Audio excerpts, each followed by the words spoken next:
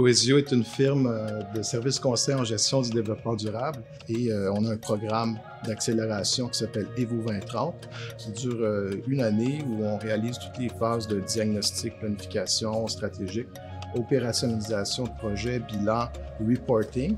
Et on travaille aussi sur des composantes comme le développement d'une application numérique alors, c'est un des dossiers qui est supporté, entre autres, par Paul-Antoine nous avons une deuxième euh, stagiaire qui s'occupe euh, de projets plus globaux euh, chez nos clients et qui s'est concentrée beaucoup sur la gestion des émissions de gaz à effet de serre et les bilans carbone.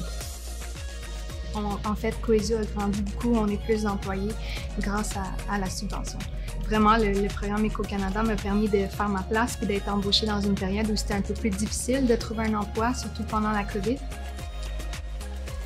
Moi, j'ai deux rôles. Le premier, c'est conseiller en quantification des gaz à effet de serre.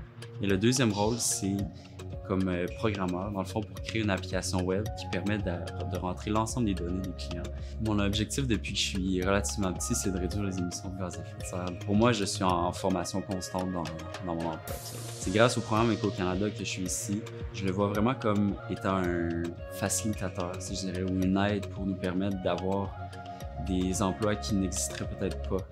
Euh, j'aimerais poursuivre ici à Coesio pour encore plusieurs années. Il y a environ un an, on était quatre ici, donc maintenant de passer de 4 à 12 environ, c'est principalement grâce à Eco-Canada.